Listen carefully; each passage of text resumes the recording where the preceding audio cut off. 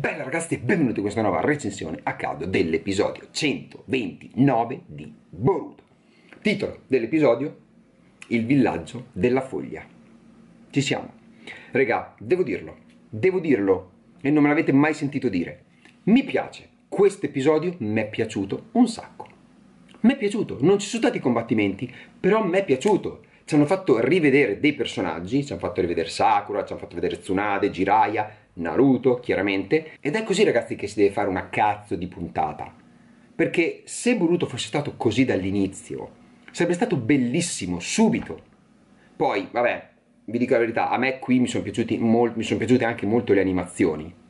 Cioè, certe cose che, vabbè, sono dettagli, sono dettagli, ma poi ci arriveremo, ci arriveremo perché è verso la fine dell'episodio. Ma anche quelle mi sono piaciute, quindi su questa puntata ci sono stati molto, secondo me.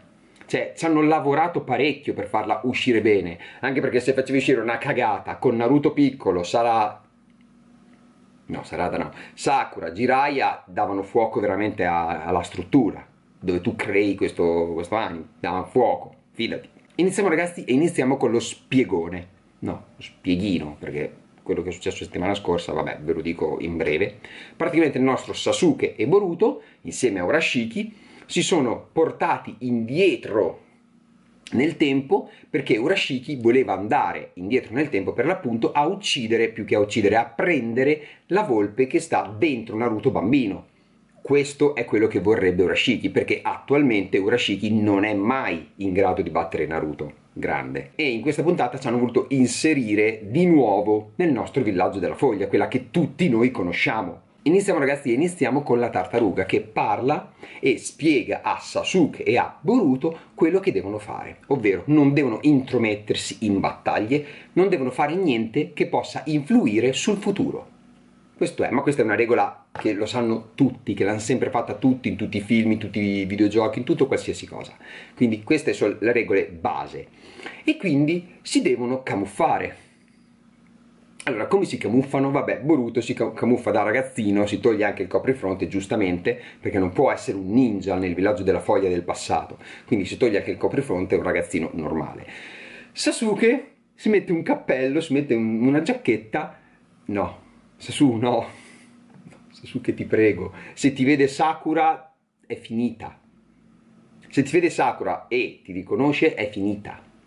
Si va a sposare con Kiba, quindi lascia perdere Sasu. No, col berretto stai malissimo. E per la cronaca, ragazzi, se io vedessi Sasuke vestito così nel mio villaggio a quell'epoca, a quell'epoca, ragazzi, mi preoccuperei. Quindi se io fossi un ninja e vedessi Sasuke così, gli starei dietro, quindi starei attento a quello che può fare, cioè col cappello, tutto imbaccuccato, con i capelli davanti a un occhio, cioè, insomma, non è proprio così rassicurante Sasuke Boruto, mani in tasca, tranquillo, fischietta, frega cazzi, ma Sasuke, insomma, prima cosa ragazzi che vuole fare Boruto, chiaramente è andare a mangiare.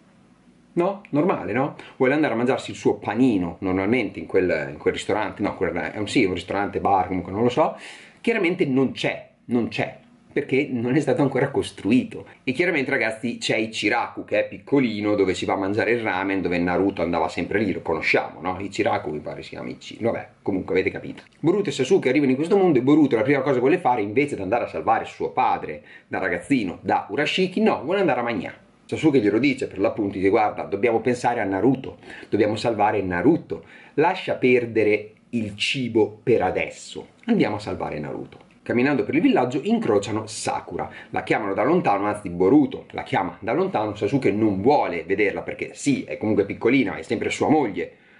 Oddio mio. Comunque, cioè, ho pensato alla moglie di Sasuke, mi è in mente, vabbè, vabbè, lasciamo perdere. E quindi appena Sakura si avvicina, eh, mi stavate chiamando? Sasuke no, no, abbiamo sbagliato persona e se ne vanno. Cioè, Boru, un minimo, te l'ha spiegato 20 secondi fa la tartaruga quello che devi fare, e te subito Subito vedi Sakura, ci vai a parlare. Subito dopo ragazzi Sasuke fa il discorso a Boruto gli dice senti, dobbiamo stare più attenti, anzi devi stare più attento, cioè non puoi andare in giro a fare quello che ti pare. E soprattutto se vediamo Naruto non dobbiamo stargli così vicini, dobbiamo stare attenti, quindi badarlo ma da lontano, giustamente anche. Un secondo dopo vanno a sbattere Boruto e un'altra persona e chi è quest'altra persona? È Naruto. Quindi sono scontrati così. Chiaramente cadono tutti e due per terra, Boruto in quel momento non realizza subito, ma poco dopo realizza, vede che è suo padre dal ragazzino e dice papà! Naruto ci rimane Co- come papà? Il primo bacio che ho dato l'ho dato a Sasuke, papà? Eh, no, non dice così, però è il pensiero che ha avuto in quel momento lì. E qui ci presentano, anzi ci ripresentano il nostro Naruto da ragazzino e anche Jiraiya che sta arrivando correndo fortissimo contro Naruto. Perché? Perché Jiraiya lo conosciamo. Jiraiya era andato a spiare delle ragazze con un binocolo.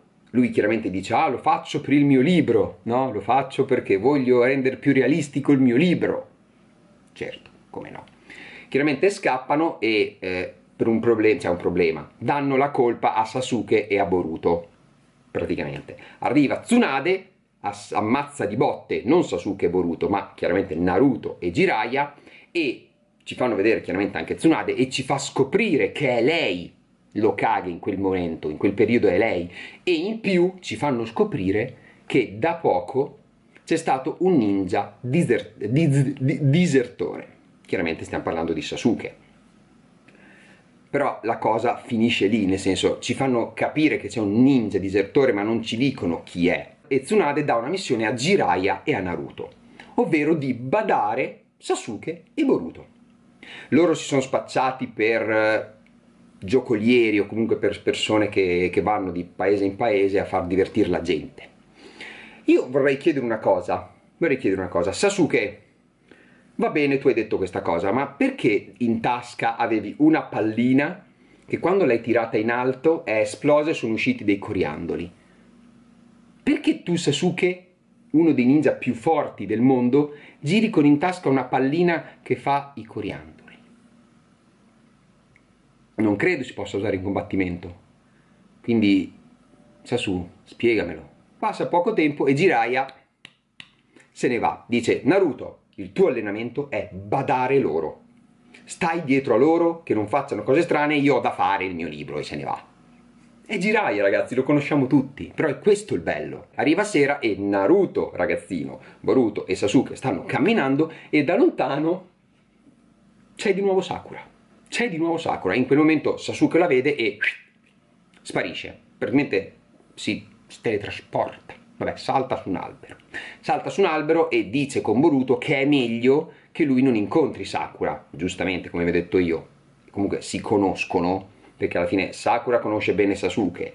Sasuke conosce Sakura, non vorrebbero far tipo dei fail, almeno non vorrebbe far tipo dei fail Sasuke. Incontrano Sakura, quindi Naruto e Boruto incontrano Sakura e Qui Boruto capisce che Sakura è uguale a Sarada, uguale. Spicciché, spicciché, proprio uguale. E qui ragazzi ci fa vedere che Sakura capisce che Boruto e Naruto sono praticamente identici. Quando lei gli dice ah siete molto simili, loro rispondono addirittura uguale la stessa cosa. No, non ci assomigliamo per niente. All'unisono rispondono la stessa cosa. Qui ti fa capire che sono veramente identici, chiaramente padre e figlio. Chiaramente alla sera, ragazzi, Boruto deve andare a dormire da qualche parte. E visto che Naruto deve fargli da badante, dice vieni a dormire a casa mia. Vi ricordate voi la casa di Naruto all'inizio? Vi ricordate? Era un buco. C'era la sala dove mangiavi insieme alla cucina e la camera da letto, il bagno. Punto, questa era la camera di Naruto. Entra, ah, ricordo che ancora non si erano presentati quindi Boruto gli dice guarda io mi chiamo Boruto, eh io sono Naruto Uzumaki. Che cazzo vuoi? Lo so, sei mio padre. Però comunque si presentano perché ancora non si erano presentati tutto il giorno e entrano in, ehm, in, casa di Naruto e mangiano. Chiaramente Boruto chissà cosa si aspettava da mangiare. Del ramen. Cioè, non è che Naruto da ragazzino aveva così tanti soldi e quindi mangia il ramen. Cioè, c'ha scaffali pieni di ramen, Naruto. Ok. E anche qui Boruto capisce che suo padre, quindi Naruto, da ragazzino e da grande sono identici anche nel metodo in cui mangiano il ramen. Cioè non è cambiato praticamente per niente Naruto. Arriviamo alla notte ed è secondo me la scena più bella di tutto l'episodio. Ci fanno vedere Naruto sul letto e Boruto sul futon lì di fianco, non riescono a dormire, quindi Naruto chiede a Boruto eh, intanto di Sasuke, ah ma Sasuke è tuo padre? No, non è mio padre, è il mio maestro, gli spiega questa cosa. E poi Naruto gli chiede com'è tuo padre a Boruto.